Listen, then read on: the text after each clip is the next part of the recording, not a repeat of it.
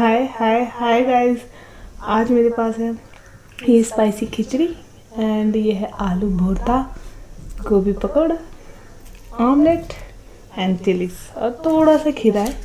So let's get start first gobhi pakoda.